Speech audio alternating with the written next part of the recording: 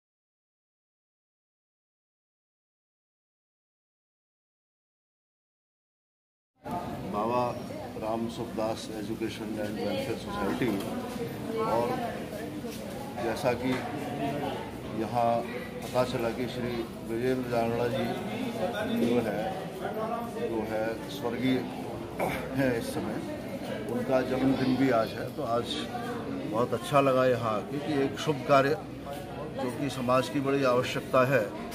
रक्त रोगियों के लिए ज़रूरत है, एक्सीडेंट वाले लोगों के लिए ज़रूरत है। बहुत सारे लोग जिनका जीवन मृत्यु की शैया पे पड़े हैं, उनको यहाँ से जो रक्त है वो मिलेगा हॉस्पिटल में, एक उपादान के रूप में उनको जाएगा।